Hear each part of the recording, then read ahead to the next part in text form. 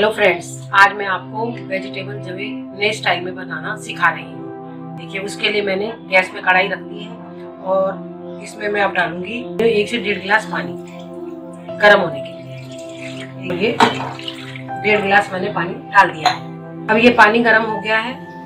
इसमें धुआँ निकलने लगा है तो अब मैं इसमें डाल रही हूँ एक कटोरी रोस्टेड जवे डाल रही हूँ। आधा चम्मच नमक। एक चम्मच तेल। अब मैं इसे हिलाऊँगी और इन्हें उबलने के लिए रख दिया मैंने। देखिए फ्रेंड्स, ये जवे हमारे उबल गए हैं और इन्हें हम हाथ से दबा के देखेंगे। तो ये कट रहा है हमारा जवा देखिए, अब इन्हें हम छान लेंगे। देखिए, छानने के लिए मैंने चलनी ली है। अब मैं इसमें अपने सारे जवे पलट दूँगी। ये देखिए।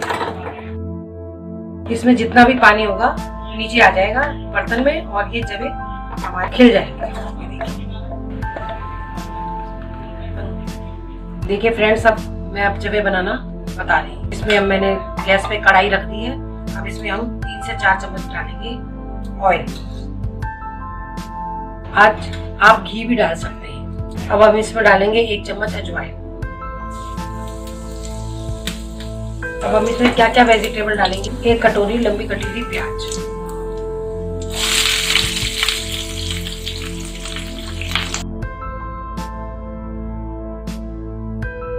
ये प्याज हल्की सी गुलाबी होने लगे।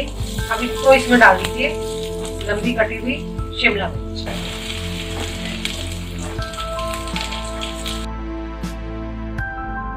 अब हम इसमें डालेंगे एक कटोरी लंबे कटे हुए टमाटर।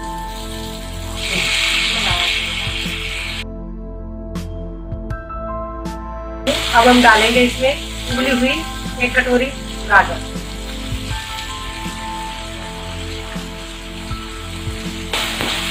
अब डालेंगे।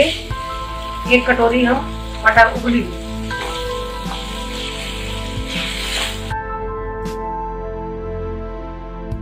यह है एक चम्मच नमक।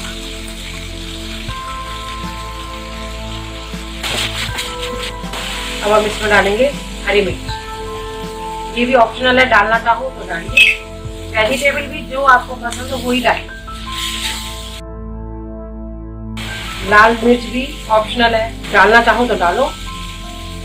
फिर हम लोग डालते हैं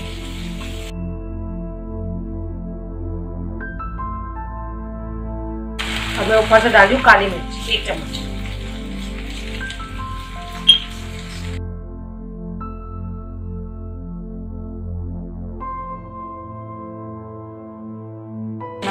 हाँ, एकदम खिला खिला जवा आया है। और इसमें लास्ट में डालेंगे हम हरा धनिया।